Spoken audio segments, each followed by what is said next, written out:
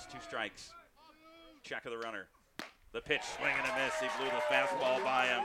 Then there goes the runner, squaring around to bunt, bunting through it for a strike. Throw down to second, not in time. The ball slips into center field, but First baseman on that side of the infield. 2 0. That one misses down low. Delayed steal, throw down to third, and safe. How about Nick Groves? Of course, Delgado holding the runner. The pitch swung on line in the left field. That's a base hit. Tying the game is Groves. He will score. Heading for third is Tucker. He's safe. The throw to second, not in time. A base hit could make it a 4 2 game. The pitch called strike three on the inside corner.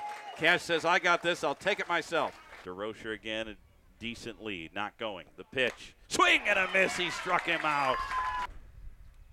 The pitch to Gio, swung on, drilled out to center. This is way back. DeRocher at the track. He leaps. It's gone.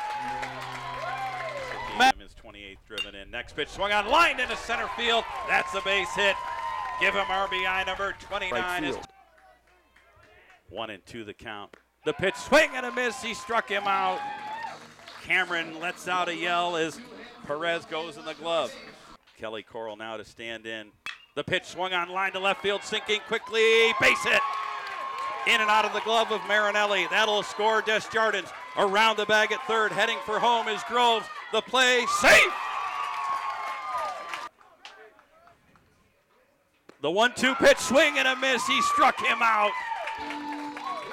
Greg Shaw goes in the glove, and the Purple Eagles, they hang on and win it, needing every bit of those nine runs